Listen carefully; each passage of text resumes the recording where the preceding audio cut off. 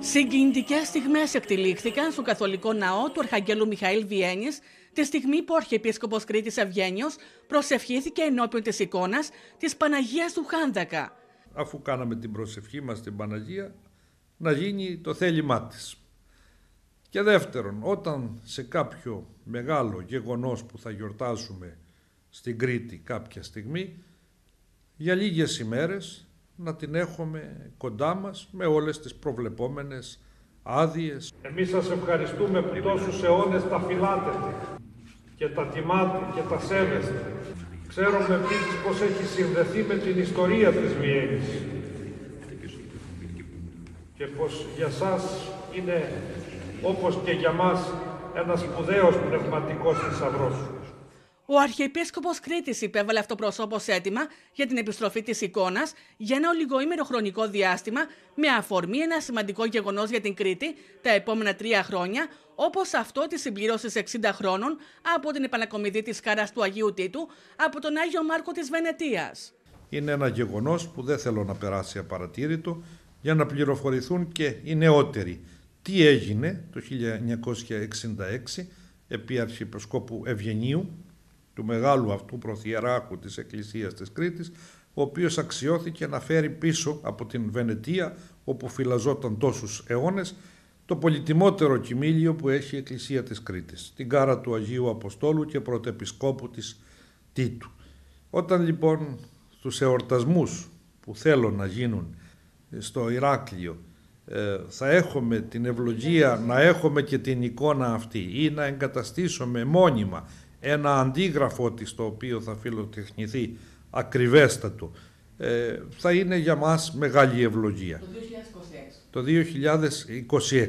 Το σπουδαίο αυτό εκκλησιαστικό κοιμήλιο έφυγε από το Ηράκλειο με την πτώση του Χάντακα το 1669. Συνειρμικά θα μπορούσαμε να τη συγκρίνουμε κάπως με τα Ελγίνια. Πρέπει να γίνει ένας αγώνας, ίσως μεγάλος. Εμένα αυτό που με ενδιέφερε τώρα ήταν να κάνουμε μια σύζευξη των λογισμών μας, των σκέψεών μας με την εικόνα αυτή. Να την έχουμε στο μυαλό μας, ότι είναι δική μας, ότι προήλθε από εδώ. Στην Αυστρία που βρέθηκε η εικόνα θαυματούργησε και ευεργέτησε πολλές φορές τους ανθρώπους της Βιέννης, όπως δήλωσε ο Μητροπολίτης Αυστρίας, κύριος Αρσένιος. Ήρθε λοιπόν ο Αρχιεπίσκοπος να α, επανασυνδέσει κατά κάποιο τρόπο τον τόπο καταγωγής της εικόνος με την ε, Κρήτη ε, σήμερα και υπήρξε μια καλή ε, έτσι συνάντηση όπου σε πνεύμα αγάπης, ε, σε πνεύμα καλής διάθεσης ε, υπόθηκαν κάποια πράγματα. Όπως όλα δείχνουν, υπάρχει θέληση για να γίνει δεκτό το αίτημα για την επιστροφή της εικόνας της Παναγίας του Χάνδακα για λίγες ημέρες στο πλαίσιο του εορτασμού της επανακομιδής της τιμίας κάρας του Αγίου Τίτου. Το αίτημά μας, όπως και η παρουσία μας εκεί, έγινε ασμένος αποδεκτό από τους ανθρώπους εκεί της ε, ενορίας της καθολικής που φυλάσσουν ε, την εικόνα πρέπει να καταλάβουμε ότι όλα αυτά είναι πανανθρώπινα δώρα του Θεού και είτε είναι εκεί είτε είναι εδώ για τους ανθρώπους είναι και για την πνευματική τους προαγωγή.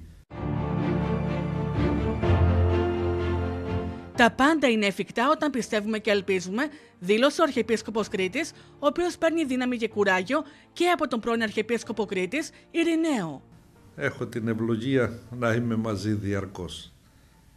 Όπως τον είδατε, είναι χαριτωμένος από το Θεό και όντως δίνει δύναμη και σε μένα και σε όλους τους ανθρώπους που καθημερινά βλέπουν την οσιακή του μορφή. Μακάρι να μας τον κρατήσει ο Θεός όσο περισσότερο γίνεται. Είναι μεγάλη ευλογία για την Κρήτη, για όλους εμάς και ξέρω ότι με την προσευχή του μέσα στην καρδιά του μας έχει κλείσει όλους.